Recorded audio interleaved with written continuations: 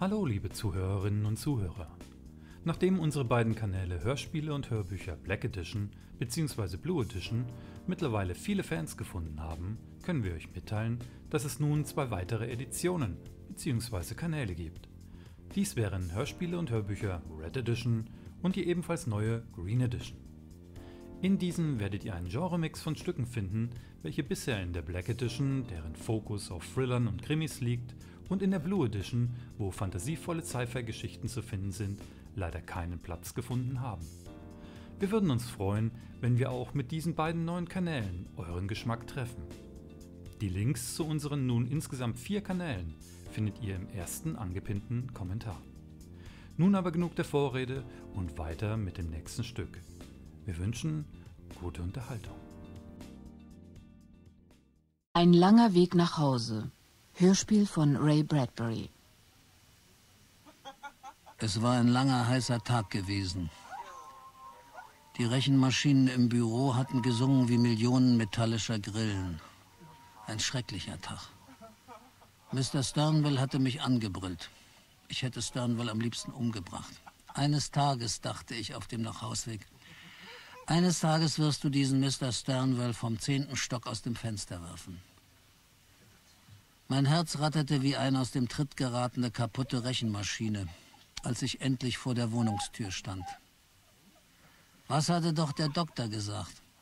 Ihr Herz hat ein bisschen Ruhe nötig. Gönnen Sie sich einen Urlaub. Urlaub. Es war völlig unmöglich, mit Lydia über Urlaub zu reden. Jedes Mal, wenn ich auf mein Herz zu sprechen kam, klappte ihr Mund zu wie eine Falle. Nein. Hinter der Wohnungstür hörte ich das Radio plärren, wie immer, und ich wusste, drinnen wartet sie. Die Frau, die ich einmal geliebt hatte, oh mein Gott, dieses ewige Einerlei, rein in die Straßenbahn, raus aus der Straßenbahn, das Büro, die Arbeit. Diese unendlich langweiligen Gespräche mit Lydia über halbgarem Essen, es war zum Verrücktwerden. Manchmal dachte ich sogar daran, Lydia umzubringen. Die Art und Weise, wie sie allen jüngeren Männern im Haus nachsah, mit starrem, fiebrigem Blick, als ob sie Spielzeug wären, das nur darauf wartete, benutzt zu werden. Oh, hi, Mr. Gidney. Hab gerade Ihr Radio in Ordnung gebracht. Radio? Ich wusste gar nicht, dass Ist Sie... jetzt alles wieder okay. Auf Wiedersehen, Mr. Gidney. Ich sah Travis nach, wie er den Flur hinunterging. Dann trat ich in die Wohnung. Lydia saß breit hingeflitzt auf dem Sofa, geschmückt mit ihrer schreienden Rothaarperücke. Du bist aber spät dran. Es ist doch erst fünf nach sechs. Und morgen ist es 10 nach 6 und am Abend drauf 20 nach und es wird später und später und später. Mein Herz, Lydia. Dein Herz, wieder mal dein verdammtes Herz. Du bist kerngesund, Charlie. Das Einzige, was dir fehlt, ist ein bisschen mehr Nachtschlaf. Der Doktor sagt aber... Also ich kann zu meinem großen Leidwesen nicht erkennen, dass du nah daran bist, tot umzufallen. Gott hat mich selig. Ach du, du willst doch nur ablenken, mich an der Nase rumführen. Der junge Radiobursche, dieser Travis, ist wieder mal zu Besuch da gewesen. Mach dich nicht lächerlich, Charlie. Das war zu viel. Ihre Kälte brachte mich auf. Guck mal da, eine Maus. Wo? Guck doch mal hin. Wo, Charlie? Ihre schreckgeweiteten Augen irrten suchend umher. Ich hatte wieder zum alten Trick gegriffen. Dafür ziehe ich dir diese Woche 10 Dollar mehr von deinem Gehaltscheck ab. 10 Dollar! Oder du kochst dir eine Woche lang dein Abendessen selbst, wie letzten Monat. Was sollte ich darauf antworten? Die Ehe hat uns gemein und kleinlich werden lassen, das hätte ich vielleicht sagen können. Und komm, Lydia, wir verschwinden aus Los Angeles, lass uns ein neues Leben beginnen. Aber ich wusste ja, es hatte keinen Sinn. Lydia gehörte zu jener Sorte Frauen, die einem aus purer Bosheit Sahne in den Kaffee schütten, wenn man ihn am liebsten schwarz mag, und das Radio auf Orkanstärke stellen, wenn einem der Schädel brummt. Wie hätte ich ihr meine Sehnsucht nach Ruhe, nach Urlaub eingestehen können? Sie hätte gesagt, dass wir uns eine Reise um meiner Gesundheit willen gar nicht leisten können. Da saß sie schon lieber da und sah mir beim Sterben zu. Nun mach schon die Tür zu und häng deinen speckigen Hut auf. Wozu? Das nützt jetzt auch nichts mehr. Ich habe nämlich gerade jemanden umgebracht. So, wie heißt er denn? Du scheinst mich nicht zu verstehen. Ich sagte, ich habe gerade jemand umgebracht. Umgebracht. Abgemurkst. Gekillt. Gekillt. Wirklich. Nun hatte ich die Sache angefangen. Jetzt musste ich sie auch zu Ende bringen. Ein Rückzieher war nicht mehr drin. Mach's gut, redete ich mir zu. Mach's gut, gib's ihr. Mach weiter. Ich habe ihn direkt ins Herz getroffen, ganze Arbeit. Aber Charlie. Ich konnte nicht anders. Ich mochte seine Visage nicht. Es war einer von diesen Leuten ohne Kinn. Charlie. Ja, ja, ich habe ihm das Herz durchs Rückgrat gepustet. Er hat ganz verwundert geguckt. Ach nein. Es war beinahe, als hätte ich wirklich jemanden umgebracht. Ich stellte mir den Knall vor, das Blut, die Erregung. Mein Herz pochte. Und Lydia?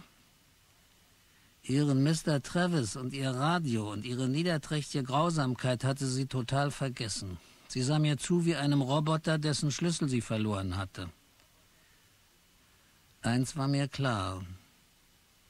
Wenn ich mich jetzt verplapperte, konnte ich himmlischen Beistand brauchen. Peng. Und ab in die Hölle.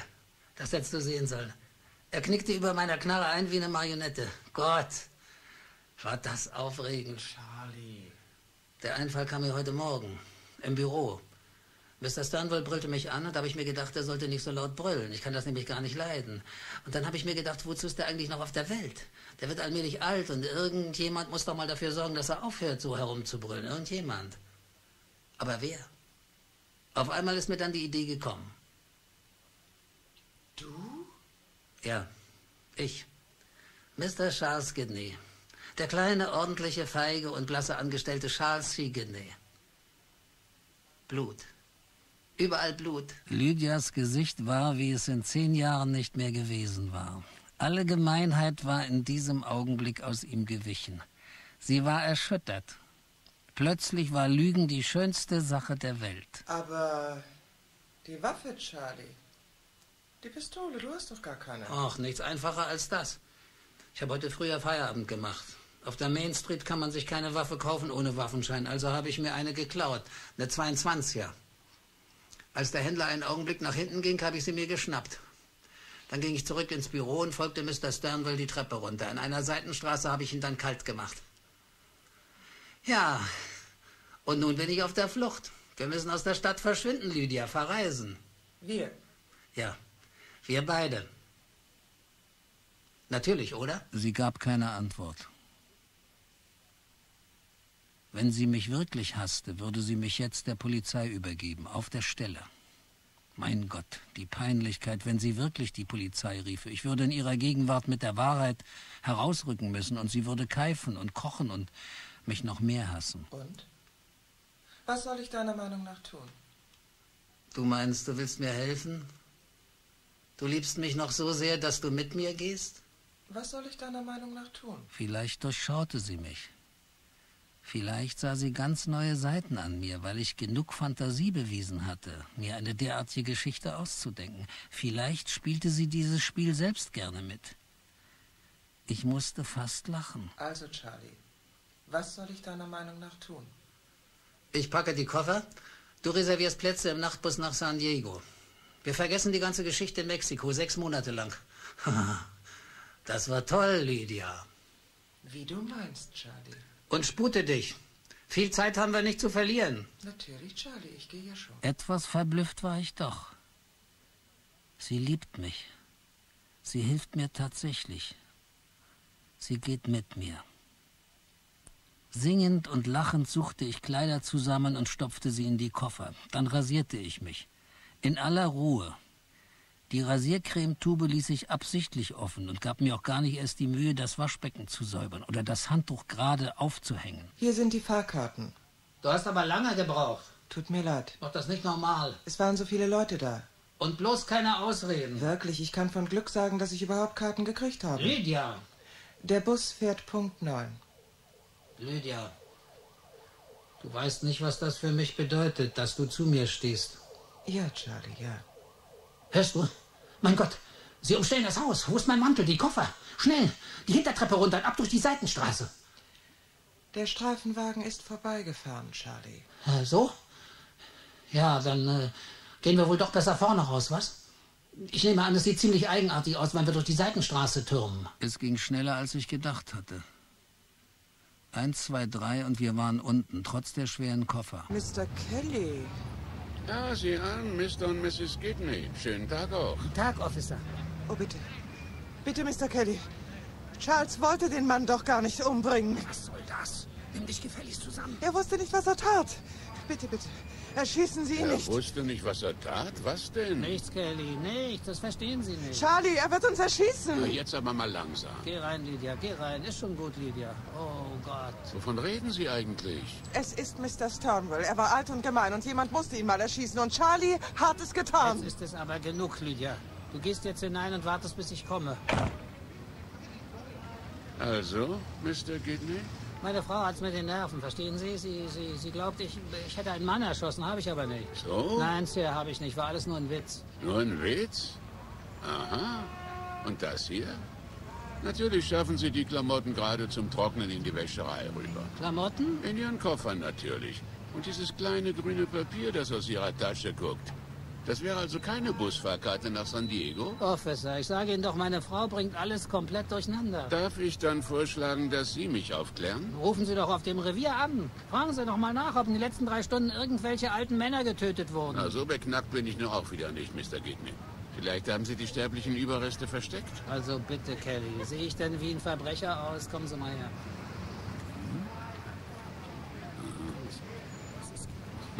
Verstehen Sie jetzt? Wenn sie herauskriegt, dass alles ein ausgemachter Schwindel ist, trage ich den Kopf nie wieder um. Die zieht mir bei lebendigem Leib die Haut ab. Ja, ja, das ist natürlich eine andere Sache. Aber keine Angst, ich werde die Katze schon nicht aus dem Sack lassen. Danke, Kelly. Ich weiß genau, wie Ihnen zumute ist. Also meine Frau manchmal. Äh, naja, aber... Ich hoffe, es macht Ihnen nichts aus, Mr. Gidney, wenn ich trotzdem mal anrufe. Na klar doch, klar. Nur eine Frage. Liegt was Besonderes vor? Na, ist nichts, eh? Was? Na, ein Mord natürlich. ja. Was? Wirklich? Tatsächlich? Na, was ist denn nun, Kelly? Ach, hat er? Das ist doch nichts, oder? Oder? Ja, wenn das so ist, mache ich. Was denn, Kelly? Er steht direkt neben mir. Okay. Nein. Kelly, nein. Sehen Sie mich nicht so an. Oh doch, Mr. Gidney. Ich verhafte Sie hiermit wegen Mordes an einem gewissen John Pastor, der vor einer halben Stunde an einer Schusswunde verblutend aufgefunden worden ist. Erschossen mit einer 22er Pistole in einer Toreinfahrt hinter ein paar Kehrichtkübeln drüben in der Temple Street. Das ist gerade mal acht Ecken von hier. Na, genug also, um mich annehmen. Au, au, au, verdammt. Was blieb mir anderes übrig? Ich trat Mr. Kelly genau in dem Moment vors Schienbein, als er die Handschellen hervorholte. Dann gab ich ihm noch eins mit der Faust. Kelly blieb regungslos liegen. Dann rannte ich zurück über die Straße ins Haus. Charlie, wir können nicht entkommen. Wir schaffen es nie. Glaubst du? Wir waren verrückt, es zu versuchen. Jetzt ist alles ganz anders. Warte auf mich, Lydia. Ich bin gleich zurück. Und die Busfahrkarten? Die brauchen wir jetzt nicht mehr. Bis nachher, Lydia. Wo gehst du hin? Ich weiß es nicht. Charlie!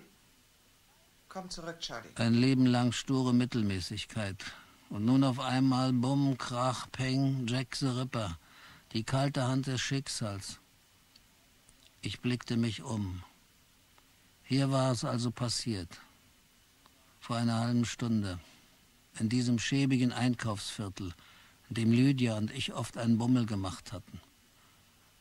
Schnapsläden, Waffenläden, kleine Cafés, leere Parkplätze und dunkle Seitenstraßen, betrunkene Männer, die ziellos umhertorkelten. Du Narr, sagte ich mir, die Bullen werden dir deine Geschichte jetzt auf keinen Fall mehr abkaufen. Wie willst du die Busfahrkarten erklären, die gepackten Koffer, deine Flucht? Die meisten Läden hatten ihre Schutzgitter schon geschlossen. Nur ein paar Geschäfte hatten noch Licht. Ich höre, hier soll es ein bisschen Ärger gegeben haben. Ja, da drüben in der Seitenstraße. Ein alter Mann, was? Wer war er? Wer hat ihn denn umgebracht? Ich weiß nicht, so ein oller Penner. Was geht mich das an? Haben Sie irgendwas gesehen?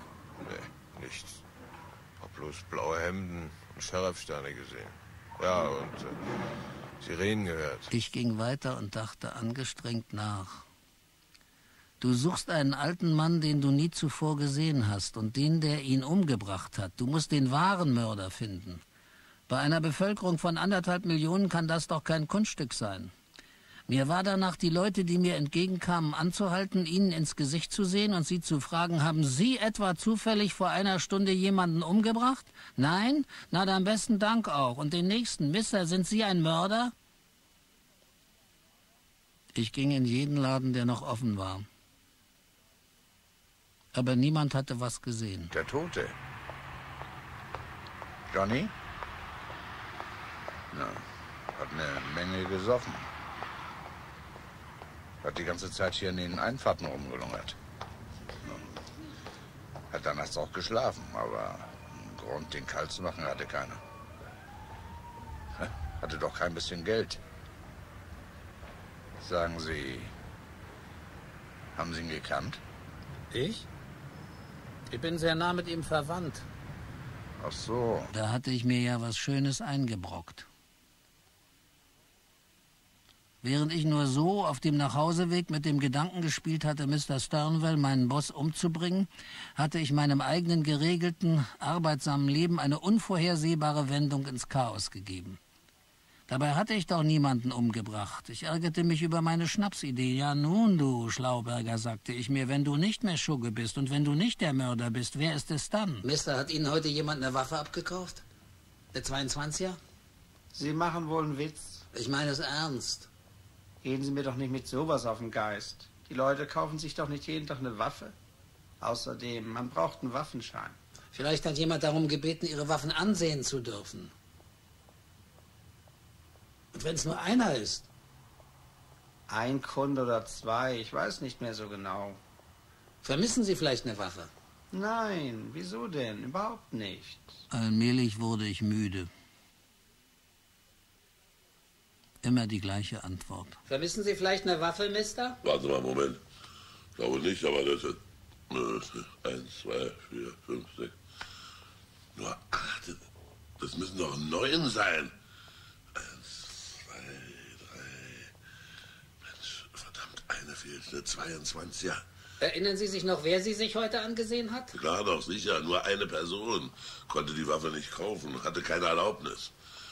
Ich äh, bin dorthin in den kleinen Raum gegangen und als ich wieder rauskam, war niemand mehr da. Muss die Waffe gebraucht haben. Hat sie einfach geklaut. Können Sie die Person beschreiben? Natürlich. Natürlich kann ich das. Und der Ladenbesitzer verbreitete sich in größter Ausführlichkeit über die Besonderheiten jener Person, die für das Verschwinden der Pistole verantwortlich war. Ich weiß nicht, was plötzlich mit mir los war. Die Knie gaben unter mir nach. Der Laden um mich herum löste sich auf. Erst nach einiger Zeit gelang es mir, den Händler wieder klar ins Auge zu fassen. Ein Mörder könnte also Ihre Waffe stehlen, jemanden ein paar Ecken weiter erschießen und die Waffe zurückbringen, bevor Sie merken, dass sie fehlt, oder? Sicher. Sicher, ich nehme sie was an. Aber sie ist ja nicht zurückgebracht worden. Ist immer noch weg. Auf diese Weise könnte also jemand an eine Waffe kommen und sie benutzen. Mhm. Die Polizei würde sie nie und nimmer aufspüren und der Waffenhändler würde ebenfalls nie und nimmer Verdacht schöpfen. Ja. Die Polizei würde nicht auf den Gedanken kommen, Waffen zu überprüfen, die Sie schon jahrelang hier haben. Sie würde wahrscheinlich fragen, ob eine fehlt oder Ja. ob Sie irgendeine 22er verkauft haben. Ja, Aber das wäre auch alles, nicht wahr? ja, vielleicht. Möglich wäre es jedenfalls. Völlig erledigt machte ich mich auf den Heimweg. Unterwegs fiel mir ein kleiner Laden auf, dessen Lichter noch an waren, und in seinem Schaufenster befand sich etwas Bestimmtes. Waffen, für die man keine Lizenz benötigte. Ich ging hinein, legte etwas Geld auf den Kassentisch, und als ich wieder herauskam, liebkoste meine Hand in der rechten Manteltasche eine Pistole. Ah, da sind Sie ja wieder. Ich nehme an, Sie kriegen Ihren Mörder noch heute Abend, Kelly. Ein Glück für Sie, Freundchen, dass Sie aus eigenem Entschluss zurückgekommen sind. Noch einmal entkommen Sie mir nicht.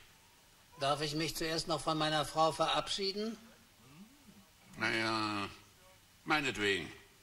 Ich denke, ich kann Sie Adieu sagen lassen. Könnten Sie draußen warten, Kelly? Gut, Mr. Kidney. Ach, Charlie.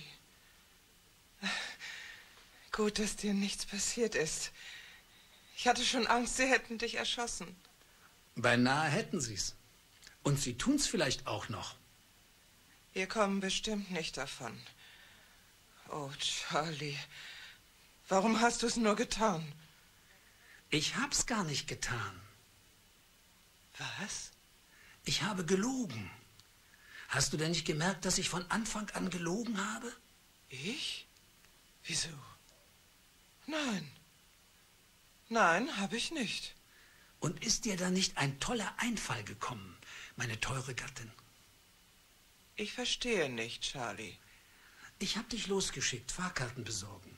Du musstest nur in diesem Laden vorbeischauen, der auch Waffen führt, nach einem bestimmten Artikel fragen, so dass der Besitzer für einen Augenblick den Raum verlassen musste, die Waffe stehlen, die Temple Street entlanglaufen, einen von den Dutzenden Säufern und Pennern aussuchen, die dort in den Eingängen schlafen, den Mann erschießen, zum Busbahnhof weitergehen, die Fahrkarten kaufen und wieder heimkommen. Was redest du da? Als du dann den Polizisten gesehen hast, hast du einen hysterischen Anfall vorgetäuscht, um mich ans Messer zu liefern. Ein guter Plan. Du hattest nur nicht bedacht, dass ich entkommen und mich bei den Waffenhändlern umtun könnte. Du hattest wahrscheinlich die Absicht, die Waffe morgen zurückzubringen. Deine Aussage gegen mich wäre vernichtend gewesen. Ich sei heimgekommen, hättest du gesagt, und hätte dir erzählt, ich hätte jemanden umgebracht. Du hast gehofft, dass mich die Polizei bei der Festnahme vielleicht sogar erschießt. Die Busfahrkarten, unsere gepackten Koffer, meine Vorgesetzten, die von nichts wussten, unsere Freunde, denen unsere Reisepläne nicht bekannt waren, All das wären verdammt gute Beweise gegen mich gewesen. Du fantasierst. Ich auf Jahre im Gefängnis, womöglich sogar hingerichtet und du frei. Frei mit deinen Busfahrkarten hinzufahren, wo immer du willst. Natürlich in Begleitung deines Freundes Treves. Keine Langeweile mehr, was, Lydia? Du bist verrückt. Verrückt. Total übergeschnappt. Tut mir leid, dass es so ausgegangen ist. Wir hätten glücklich sein können hätten noch mal von vorn anfangen können, selbst wenn dir klar war, dass ich dir das mit dem Mord nur vorgelogen hatte. Du hättest mitspielen sollen. Es wäre schön gewesen, aufregend. Hast du mich all die Jahre so sehr gehasst? Du bist ja wahnsinnig. Dann, Lydia, komm her. Dann sieh dir doch erst mal das hier an. Nein. Charlie. Scharf geladen. So scharf wie deine 22er. Du willst. Es ist aus, Lydia. Charlie. Aus. Endgültig aus.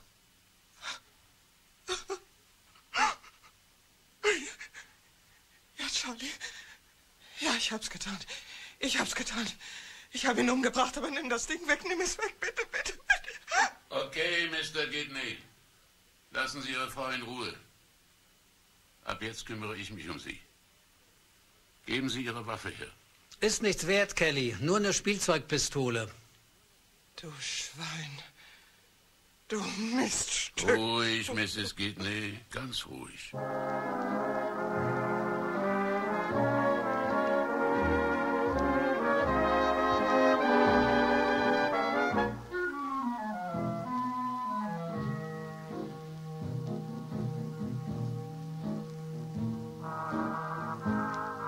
Sie hörten Ein langer Weg nach Hause von Ray Bradbury.